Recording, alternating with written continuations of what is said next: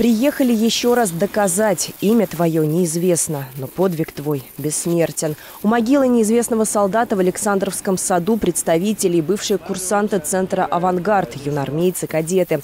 Благодарные потомки приехали в самое сердце столицы, чтобы почтить память героев Великой Отечественной войны.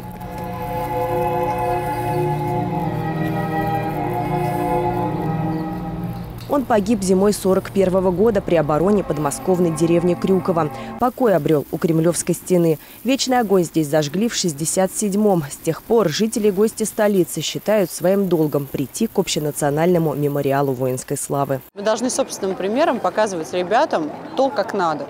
Ну, собственно говоря, сегодня уже традиционно второй год подряд Центр «Авангард», его сотрудники, юнармейцы, кадеты, ребята, которые только собираются поехать в «Авангард», или ребята, которые уже в «Авангарде» были, объединившись все вместе, возлагают венок, отдают дань памяти к могиле неизвестного солдата в Александровском саду. Это нужно не мертвым, а в первую очередь подрастающему поколению. Ведь они все реже могут услышать о той войне из первых уст. Я считаю, что это важно, потому что мы не должны забывать э, то, что было в прошлом, чтобы не совершать ошибки в будущем. Надеюсь, что в скором времени мы закончим э, специальную военную операцию на Украине, и там больше никогда не будет э, фашистов.